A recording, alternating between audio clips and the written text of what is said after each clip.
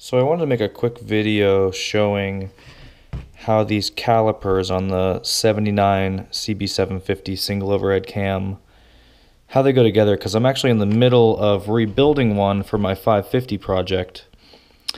And I took everything apart had it powder coated and then put the project on hold for a while came back and realized I had completely forgotten how everything goes back together and surprisingly, there's not a lot of diagrams or resources about how these are supposed to go together correctly. So I kind of figured after I did research to double check and see how everything went. So I bought a I bought a used one on eBay and I'm going to tear this one down and just sort of double check it and reference everything with it. So this one actually someone replaced the bolts right here with Allen head bolts, which is kind of nice. So I'm going to steal these for my project, but first things first, I'm going to pull off the shield here.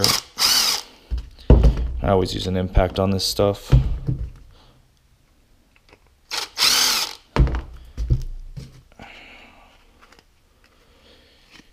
That comes off like that. Um, a couple things I was going to point out were this clip right in here. I wanted to double check and make sure where that actually went. It sort of goes over the the rubber piece and sits up against the actual caliper. Um, if you notice in here, you can see these retaining clips. These are actually to keep the pads from rattling, and a lot of these calipers don't have these. Either they've gone missing or people just forget about them. But there's two sets of them. There's one that sits right in here, and there's two on each side that hold the pad in place. So I'm going to pull off these Allen head bolts probably set them aside and use them on the new project. There's one.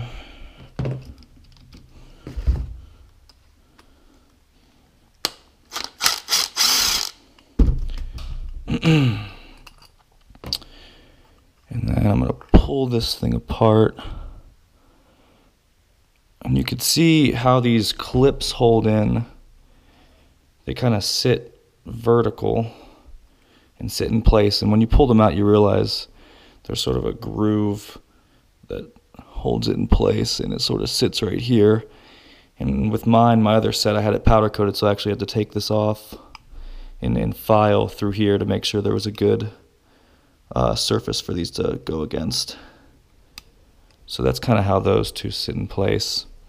the other thing that really confused me was there's these rubber pieces right here and uh, the placement of them is so the the bolts sit on top of it like so.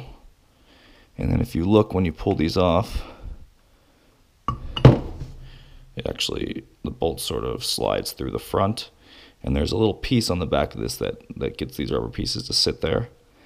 And I went on eBay for mine and I, I replaced there was a kit on eBay and I ended up getting a new piston from four into one and I ended up finding a thing on eBay where they replaced all the seals. So the seal here for the piston, the rubber seal here for these uh, these sort of floating pieces. Um, the other thing that was really weird is on my other set, I have this same bolt. Now this this bolt on the left side of it has this rubber piece that sits here, and it sits in a little groove on the bolt. And you'll know which one's which because this side actually is too small for this, so it'll actually fit in here. But for some reason on my other one, this rubber piece has expanded too much, and I cannot find a replacement for this, so I'm going to steal this bolt for my new one too. But both of them come out like that. This one might be a little trickier. There we go. you know, there's some grease on both sides of those. So you can kind of see the difference here the two separate bolts, but they, they basically will fit in the side that they fit in. So there's those. Here's a final look at this whole piece with the retaining clips in these pieces here. Like I said, I'm going to steal this for my other project.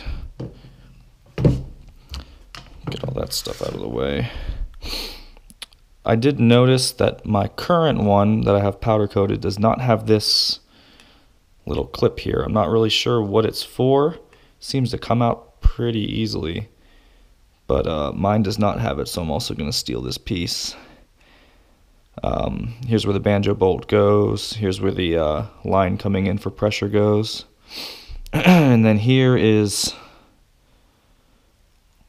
the piston and the seal that goes around it. And you'll see the little clip. My kit that I bought on eBay comes with this little clip here.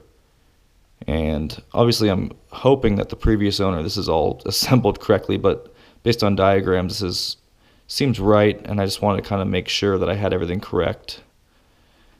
Um, piston goes this way. I actually put the piston in wrong on mine, so I'm gonna have to pull this out and reverse it. And you can buy those pistons on four into one, like I said. The other weird thing was this clip, and right now it's kind of being held on by the piston, so I don't even know if I can pull it out at this point. But on mine, it was just basically, it just fell out when I disassembled it. Here we go. But with this clip, if you're looking at it like this, that little piece up top will sit towards the top of it, so that will go up. And then we'll slide in like so. And I think this is just to keep pressure on the pads to keep them from uh, rattling too much while it's going. But yeah, um, I just kind of wanted to make this because